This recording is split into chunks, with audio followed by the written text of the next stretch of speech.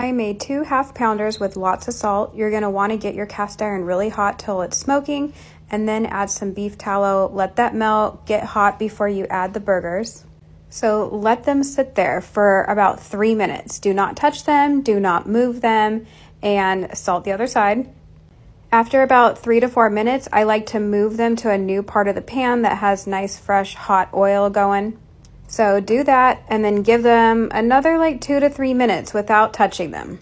You're looking to get that really nice sear and a salty crust. You can give them a little squish too. And then you're gonna flip them over and do the same thing to the other side.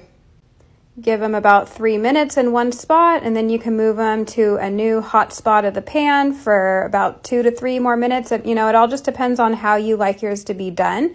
But you can see how after a few minutes, it still wasn't nice and brown, so you move it to a new spot. And I do this